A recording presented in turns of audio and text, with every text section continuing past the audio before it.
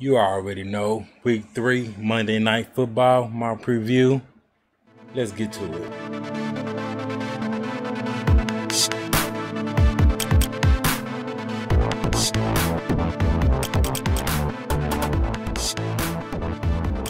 Everybody, it's your boy Raven Cee.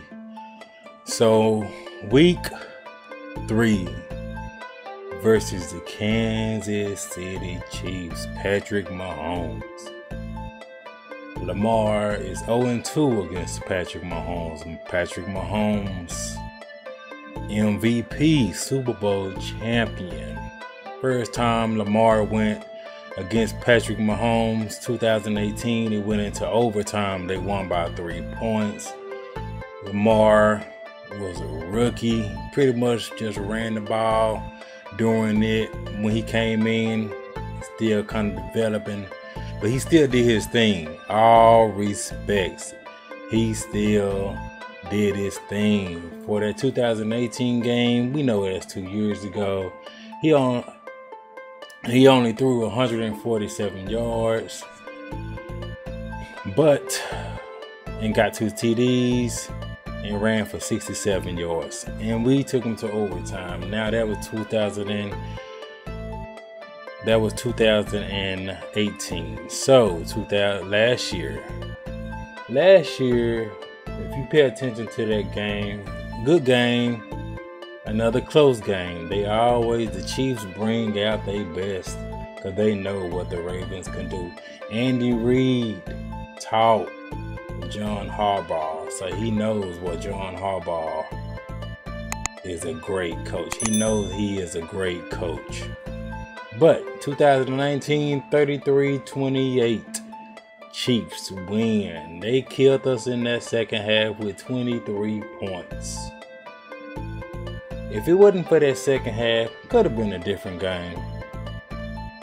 But so we coming into this game 2020. Ravens versus Chiefs. Now, they just put out a report about Sammy Watkins and concussion protocol, and that's going to be interesting to see what they how that's going to turn out because right now it is Thursday. Got all the way to Monday. I will be shocked if I don't see him play. But just talking about 2020, we already went to the past and everything. Got MVP versus MVP, Super Bowl champion versus probably could be this year Super Bowl champion Lamar. People gotta respect Lamar.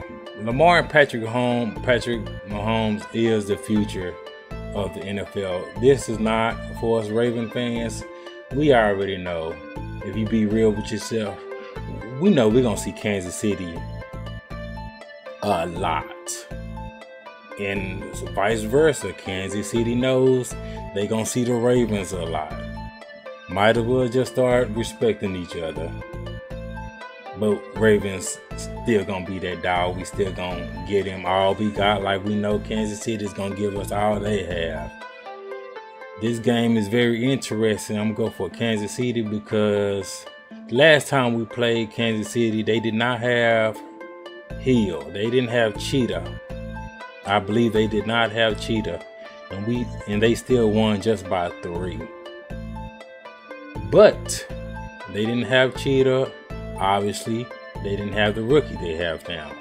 But this year is different for as the Ravens defense when Patrick Mahomes torched them 2018, that throw still to Tyreek Hill. Oh goodness. I still can't believe that.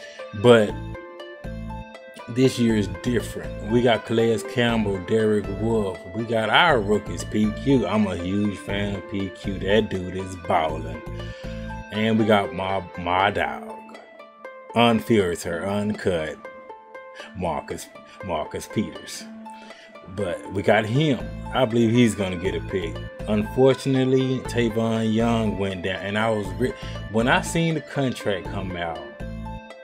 I say contract when I seen the schedule. I mean, come out, and I saw. I was like, man, we didn't have Tavon Young last year, And he is he is a game changer. He's small, but he is a pit bull. And I can't uh, I can't wait to I can't wait to just see them. I was like, man, I can't wait to see them, see all of them. Marcus Peters, Marlon Humphrey, Tavon Young, Jimmy Smith as a safety slash. Oh, with Chuck. Oh, I was like, that is going to be a good game. Then behold, my dog got injured. Dang, I'm still hurting on that. I ain't mentioned that in the post, my post video after after we played uh, the Texans, man, because I was like, I don't want to believe it, you know what I'm saying? But he's done for the year. So, Averett, yeah, shout out to Coach. Coach broke it down. He broke down how good and how Averett is. He's good. He's gonna be okay. He's gonna be okay, and everybody knows.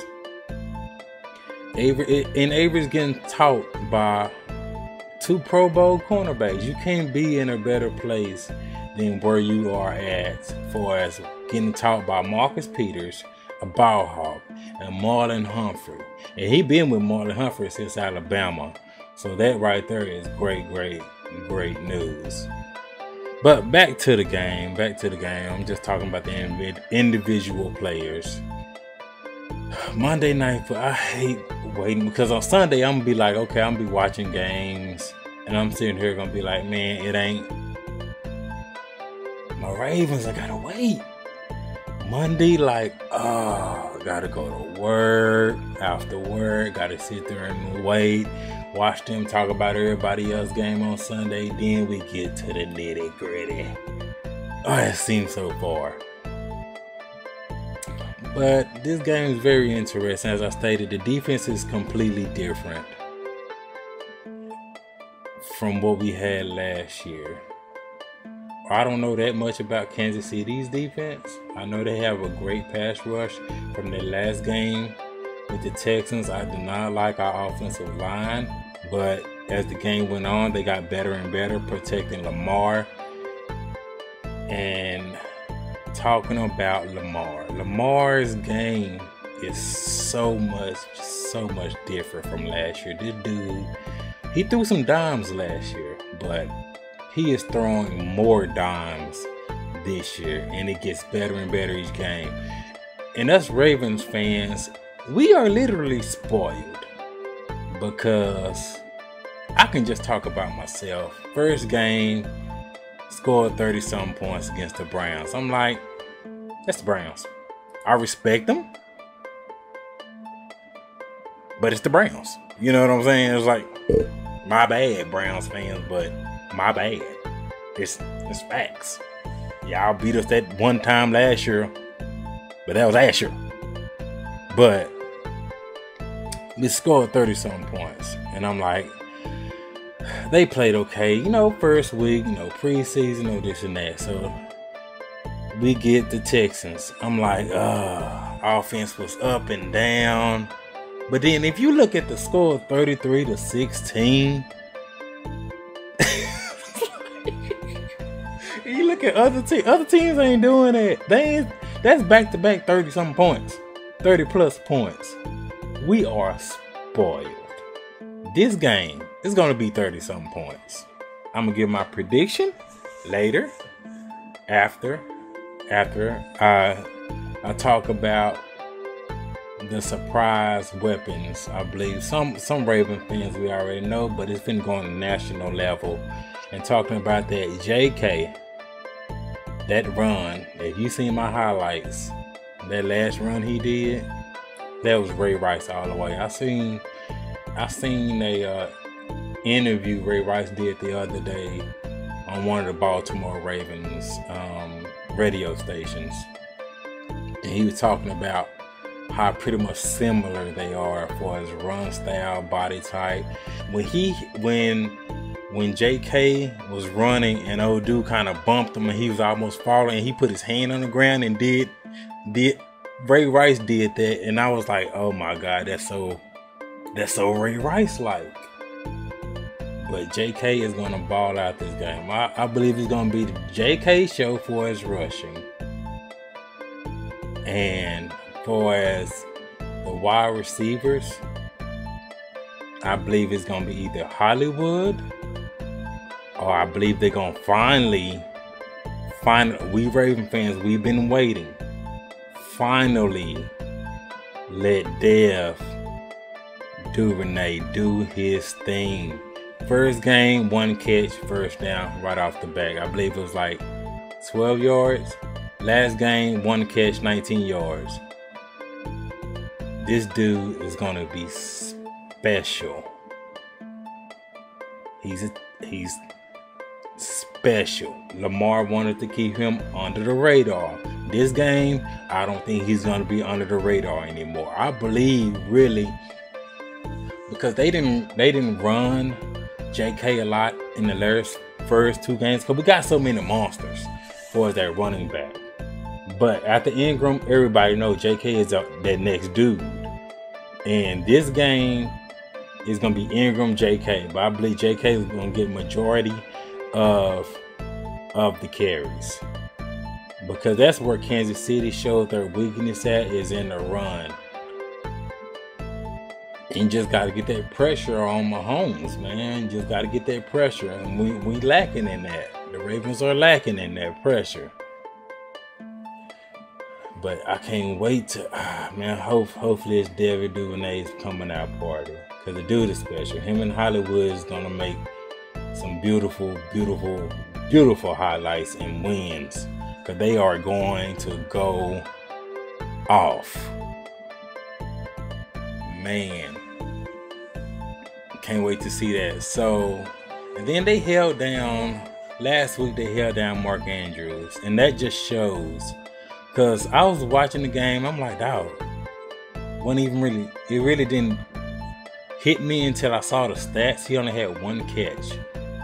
Then I, I heard Coach talking about it. Shout out to Coach. I heard Ingraven talking about it. Shout out to Ingraven. And I'm like, this dude and Joe Noob, I heard him say it as well. I'm like, this dude only got one catch.